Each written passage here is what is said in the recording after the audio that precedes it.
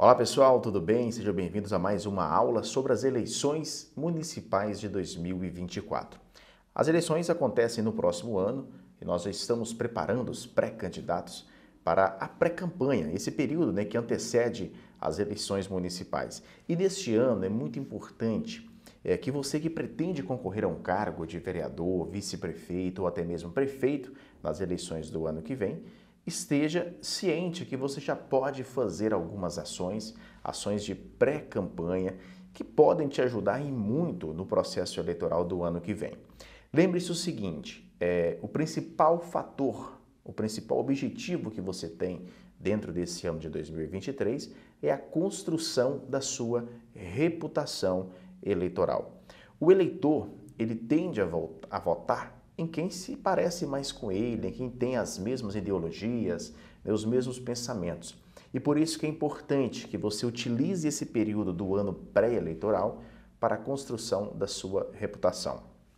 Não dá para construir a reputação de um candidato com 45 dias de campanha ou até mesmo com seis meses antes do processo eleitoral. Por isso que é importantíssimo que você fique atento à aula de hoje, Compartilhe essa aula aí com outras pessoas, né, que você também sabe que quer concorrer às eleições do ano que vem. Eu estou te ajudando, te levando conhecimento, só te peço em troca que você também compartilhe esse vídeo com outras pessoas para que elas também possam ter acesso a essa informação sobre as eleições de 2024. Então eu preparei para vocês nesse vídeo de hoje 10 dicas de como você pode iniciar a sua pré-campanha eleitoral ainda nesse ano pré-eleitoral de forma que você não infringe a legislação, nem que você vá construir a sua reputação como político. Lembre-se disso. O objetivo agora não é pedir voto, não é anunciar que você é candidato, é simplesmente construir ou reconstruir ou melhorar a sua reputação diante aí da sua comunidade na qual você vai concorrer nas eleições do próximo ano. Antes, eu quero dizer para vocês o seguinte: é, nós temos sim é, uma mudança na forma de fazer campanha, na forma de fazer eleição, porque desde 2008, né, com o advento aí das redes sociais, na época ainda com Orkut, Twitter, é, até os dias atuais, nós temos uma mudança drástica no formato de fazer eleição. E vai vencer as eleições aquele candidato que souber alinhar muito bem é, os métodos tradicionais com os métodos é, digitais. Né? Você não pode fazer uma campanha somente no meio digital, bem como não pode fazer também uma campanha eleitoral somente nos métodos tradicionais, ou seja, fazer uma campanha sem usar as redes sociais não dá, e fazer uma campanha também somente é, com as redes sociais também não dá. Então vamos lá.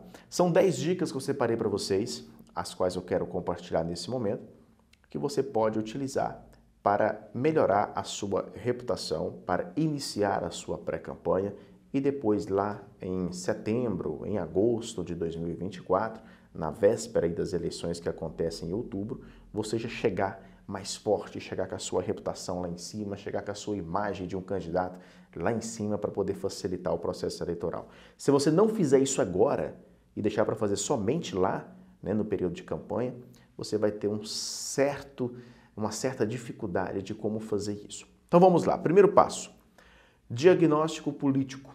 É, pense bem. Se você vai fazer uma, uma cirurgia, se você vai buscar uma informação sobre algo da saúde sua, o que é a primeira coisa que você faz?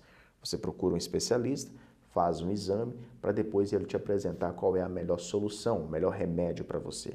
Então, da mesma forma, eu lhe digo, o primeiro passo nesse momento é a realização de um diagnóstico político. O que, é que você vai fazer? Você vai contratar um profissional da área e vai solicitar, olha, eu quero um diagnóstico meu, da minha condição política, eu quero um diagnóstico do atual cenário, é, do atual cenário político da minha cidade, para que eu possa tomar é, algumas estratégias daqui até é, o término da pré-campanha no ano que vem. E pense o seguinte, gente: olha o tempo que vocês têm para poder fazer esse diagnóstico, elaborar as estratégias e iniciar as ações. Se você deixar para fazer isso somente lá em julho de 2024, você não vai ter esse tempo. Então vai dificultar um pouco mais. Então contrate agora é, uma pessoa né, na sua cidade, ou manda aí um WhatsApp é, para a gente que eu posso te indicar quem pode fazer esse diagnóstico seu. é, para entender quais são as iniciativas que você tem que tomar. E lembre-se bem, né, na arte da guerra, Santos até dizia né, que para vencer uma batalha você tem que conhecer a si mesmo, conhecer o seu adversário e o campo de batalha. Então, se você conhece as suas capacidades de atuação, você conhece as fragilidades e as, né, a, a, os principais pontos positivos do seu adversário e conhece também a realidade do seu município, fica mais fácil de você conseguir vitória nas eleições do ano que vem. Então, é, diante disso, a execução do, do diagnóstico, o que, que ele vai trazer? Ele vai trazer para vocês alguns pontos que eu quero destacar aqui, como análise SWOT, né, quais são as suas forças, suas fraquezas, suas oportunidades, suas ameaças no âmbito é, político, eleitoral, vai fazer uma análise das suas redes sociais, entender o que, que a sua rede social tem de melhorar, vai descobrir quais são as necessidades da sua população para que você fale aquilo que o seu eleitor ele quer ouvir. Então isso também é fundamental, falar o que as pessoas é, querem ouvir. Vai fazer uma busca sobre você no Google, saber sobre o que, que já saiu sobre você da imprensa, o que, que poderá sair sobre você também na imprensa. Então é fundamental esse diagnóstico ter ele muito bem definido para ter um desenvolvimento forte aí do seu projeto. Esse é o primeiro passo. Segundo passo, a definição da sua identidade visual. É, as pessoas elas tendem a olhar muito pelo lado estético. Aquilo que é muito feito é, de qualquer jeito é, acaba não atraindo a atenção do eleitor. Você, como pré-candidato, você pode observar isso. Aquelas publicações que são feitas que não têm aquele lado estético bem definido, acaba né, não tendo a mesma atenção do que aquilo que é belo, que é bonito, que as pessoas olham e chamam a atenção. Então, o que, que você vai fazer? É, você vai fazer a elaboração da sua identidade visual. Fabrício, o que, que é isso? Você vai criar um esquema de cores, um esquema de fontes, um estilo é, de logomarca. Ah, eu posso ter logomarca numa pré-campanha? Pode, desde que você não utilize essa mesma logomarca lá no período eleitoral, porque senão fica caracterizado propaganda eleitoral antecipada. Então você pode ter uma logomarca, a Zé, Zé da Silva, você pode colocar essa logomarca, Zé da Silva, e colocar ela embaixo aí nas suas publicações. Posso colocar Zé da Silva pré-candidato a prefeito? Eu oriento que não, porque não há essa necessidade. Nesse momento, é, não é interessante que as pessoas saibam que você é um pré-candidato. É interessante que as pessoas entendam aquilo que você pensa, é, quem é você e construção da sua reputação.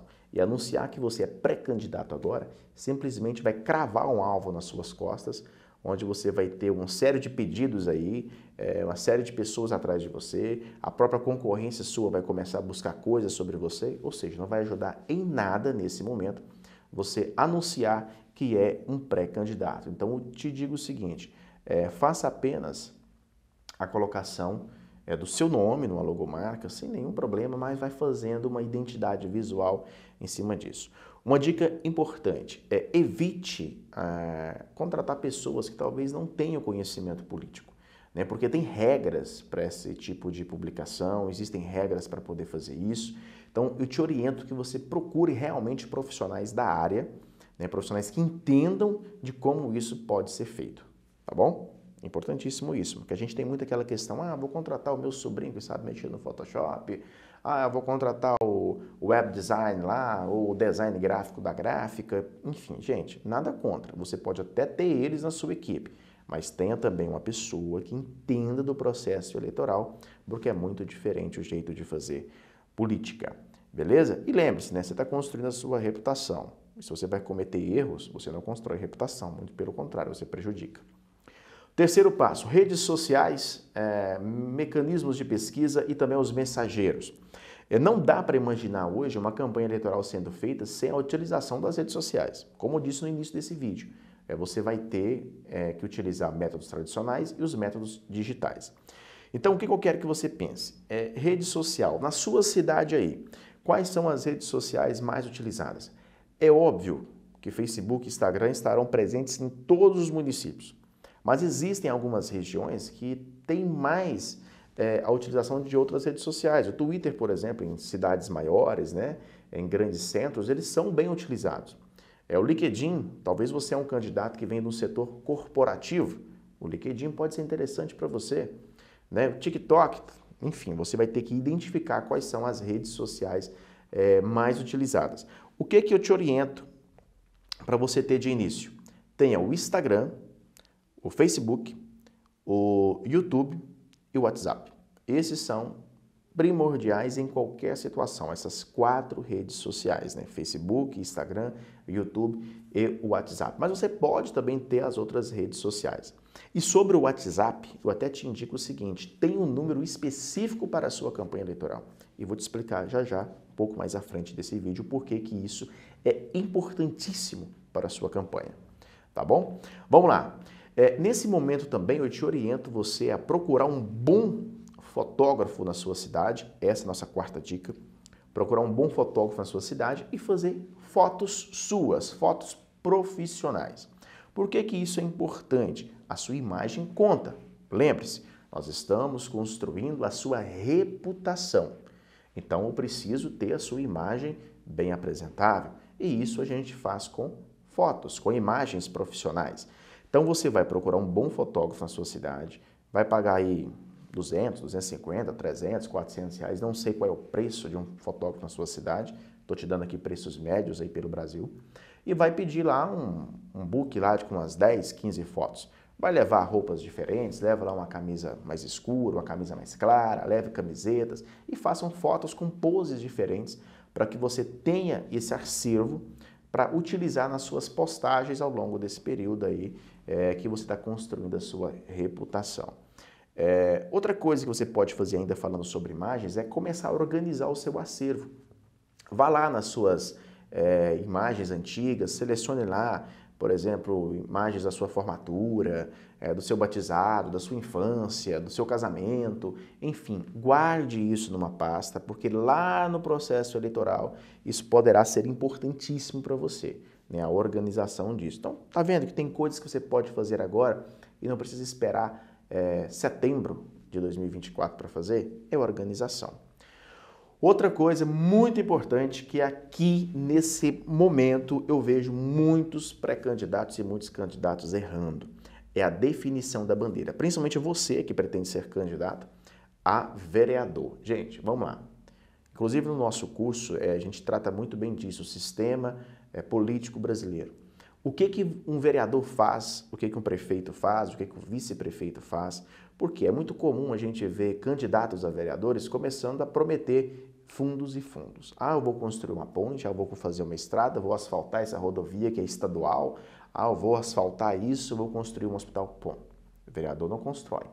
Quem constrói é o executivo. O vereador ele pode indicar. Então, o que eu quero dizer para vocês que vão ser candidatos? seja candidato a prefeito ou candidato a vereador. A definição de uma bandeira. Beleza. É, o candidato ele tem obrigatoriamente que saber de todos os conteúdos da sua região, mas ele tem que ter uma bandeira específica. Se você é um candidato da área da educação, você foi professor aí, você é professor há 25 anos no seu município, e aí você agora é candidato a vereador, ou vai será candidato a vereador em 2024, e começa a falar de segurança ou começa a falar de agricultura. Nada a ver, nada contra, mas também você tem que entender que as pessoas elas olham para você e imaginam aquela visão da educação. Então é mais prático, é mais fácil você atrair atenção falando aquilo que é do seu conhecimento. Imagine eu, pós-graduado em marketing político, em ciência política, em comunicação pública, e estou aqui falando para vocês sobre futebol. Por mais que eu goste de futebol, não é o assunto que eu tenho né, a, a predominância, a facilidade maior para poder falar, assim como eu tenho com política. Então, da mesma forma é você. As pessoas elas vão olhar para você e te reconhecer como autoridade naquela sua área de atuação. Lembre-se, você não precisa deixar de falar dos outros assuntos. Pelo contrário, você tem que falar também. Mas o seu carro-chefe, tem que ser aquele tema que você tem mais facilidade para falar. Se é educação, vamos falar de educação. Se é saúde, fale de saúde. Você pode introduzir outros temas dentro daquele que você está falando. Beleza? Ficou claro? Então defina qual é a sua bandeira e defina também dentro dessa sua bandeira quais são os temas que você vai trabalhar. Ah, eu vou trabalhar com saúde. Beleza, mas quais são os temas sobre a saúde? É saúde da mulher? É saúde do homem? É saúde de quem mora na zona rural? É saúde da terceira idade?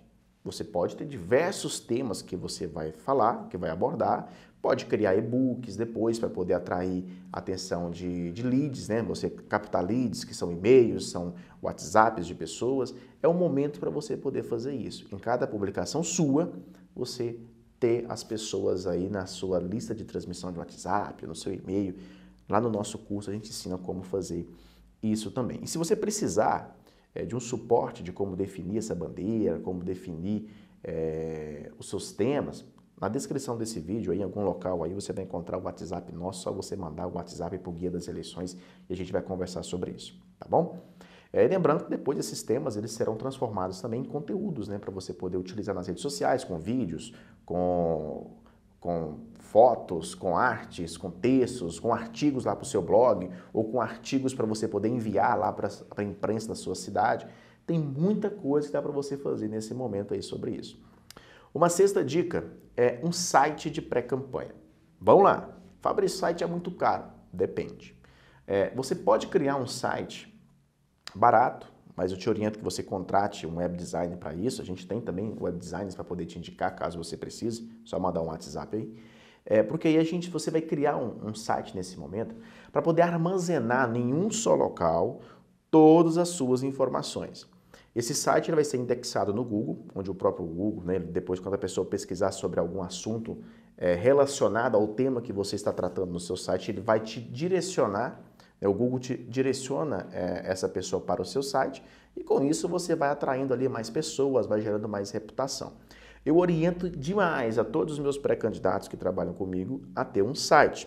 Você pode colocar lá sua biografia, depoimentos, vídeos, é, e quando for liberado também, você pode ter lá a, a, sua arrecadação de fundos através da vaquinha eleitoral, né, o financiamento coletivo. A partir de maio de 2024 estará liberado. Você pode fazer isso também no seu site. E depois ele vira um site de campanha lá na frente. Aí você pensa o seguinte: se você lança é, um e-book, vamos voltar no assunto da bandeira anterior, é, saúde. 10 dicas para a saúde na terceira idade. Você cria um e-book sobre isso, um conteúdo através da sua equipe de marketing e lança isso na sua cidade gratuitamente para as pessoas baixarem esse e-book. Em troca disso, elas vão te dar o WhatsApp e o e-mail delas. Olha para você ver. As pessoas vão marcar lá que elas autorizam, né, te passar esses dados.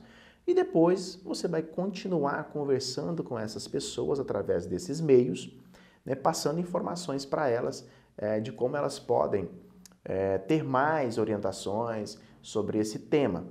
Aí você vira uma autoridade no assunto. E quando chegar o período eleitoral, quem elas vão lembrar? De você. Então, isso é construção de reputação, é construção de autoridade digital. Veja que dica bacana, hein? Sétima dica: você vai fazer é, um cadastro de militantes.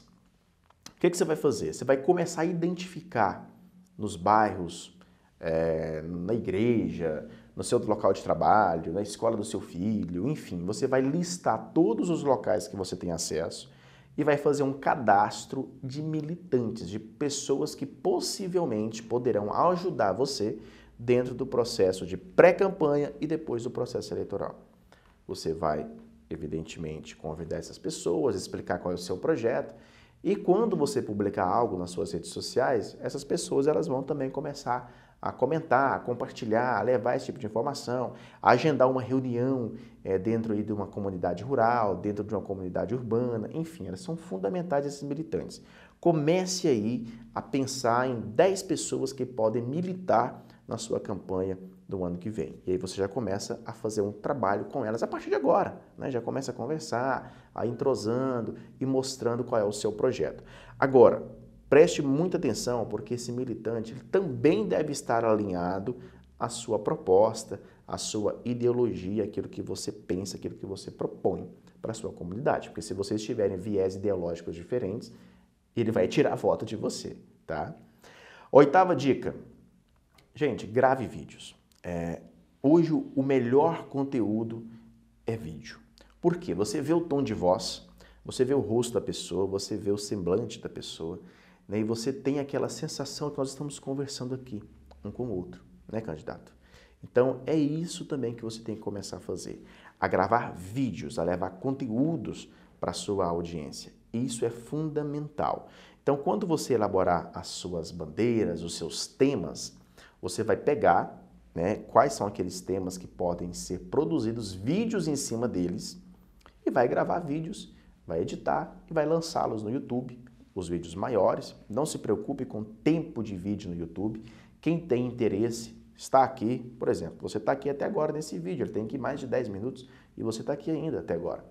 Né? Ou seja, se fosse um vídeo lá no Facebook ou no Instagram, o pessoal já tinha ó, saído há muito tempo. Então, você pode fazer vídeos maiores para o YouTube e depois fazer os recortes para você poder publicar lá no Instagram, lá no Facebook. Desse vídeo aqui mesmo, grande, que você está vendo aqui no YouTube, ele vai ter também cortes lá no Facebook e no Instagram. Cortes de um minuto, de 90 segundos, é por aí tá bom? Então faça isso, faça podcast, faça lives, é, faça entrevistas, faça vídeo sozinho, faça vídeo com outras pessoas conversando, não tem problema. O importante é você fazer. Aí é a sua criatividade, é a sua equipe que vai pensar naquilo que encaixa melhor para o seu perfil, beleza? Faça reuniões e cadastre e-mails e WhatsApp. Essa aqui é a nossa nona dica. A partir de agora, desse momento que você está assistindo esse vídeo, toda reunião que você fizer, todo local que você for, que você for conversar com alguém, eu quero que você cadastre e-mail e WhatsApp das pessoas. Por que, que isso é importante? Isso gera uma pessoalidade. Você conversa com a pessoa, ah, posso anotar seu WhatsApp aqui? Ah, beleza, anota o telefone. Ah, qual que é seu e-mail? Já salva na sua agenda telefônica, não tem problema. Depois você vai catalogar tudo isso no banco de dados. O Google Agenda é muito bom para isso. Você vai passar tudo isso, telefone e-mail, vai lançar isso numa planilha de Excel à parte, para que depois você comece a fazer contato com essas pessoas de forma frequente, a cada 15 dias ou a cada 30 dias. E quando chegar mais próximo do período eleitoral, você vai é, intensificar mais essa comunicação. Ao mesmo tempo que você pede o contato da pessoa, você vai também pedir para a pessoa falar, salva meu telefone na sua agenda, porque o envio de lista de transmissão do WhatsApp só é possível se a pessoa também tiver o número do seu telefone salvo na agenda dela. Então, pense lá. A pessoa tem que ter o telefone salvo na agenda lá e você tem que ter o telefone salvo também aqui. Aí a lista de transmissão funciona. Para o nosso curso a gente explica direitinho como fazer isso também. Tá bom? Mas faça isso. É, Cadastre-se. Isso é muito importante. E depois de preenchida, é, você vai organizar essa lista né, ou vai pedir alguém para enviar um WhatsApp para cada e-mail, né, informando que vocês vão fazer esse contato. A décima dica é o seguinte: contrate uma agência especializada em marketing político eleitoral, faça cursos e prepare-se para o processo de 2024. Né? Não adianta você querer fazer tudo sozinho. Informação e conhecimento é sempre muito importante. Você pode fazer um curso é, de marketing político, um curso da área contábil, um curso é, da área jurídica, pode fazer um curso de oratório, um curso de tráfego pago e o melhor, nós temos tudo isso dentro do guia das eleições. Tudo isso preparado com muito carinho para todos vocês. Quer saber mais sobre isso? Manda um WhatsApp aí que a gente vai te informar direitinho como você vai fazer. E enfim, gente, não adianta você é, querer fazer uma campanha sozinho. Uma dica extra que eu quero te passar é o seguinte: contrate bons profissionais, contrate um estrategista de campanha, né? Pense em quem pode te auxiliar nesse momento. E te falo mais, agora estão todos disponíveis. Né? É, você começar a conversar com eles agora, com a gente agora, é melhor porque se chegar o período eleitoral, todo mundo já vai estar ocupado e os melhores já vão estar contratados. Então pense bem nisso. Eu quero dizer para você o seguinte: é, nos envie é, um WhatsApp para qualquer dúvida. Aqui na descrição desse vídeo, em algum local aí, tem um link para você baixar um e-book completo com as 10 dicas, os 10 passos para você iniciar a sua pré-campanha eleitoral. É só você acessar e é gratuito, a gente está aqui para ajudar você também. É, e qualquer outra dúvida que você tiver, mande para a gente, a gente tem o maior carinho em responder a todos vocês. Beleza? Quero agradecer a você que ficou até agora, um forte abraço e a gente se encontra aí no próximo vídeo com mais dicas, com mais orientações para você. Valeu e até a próxima.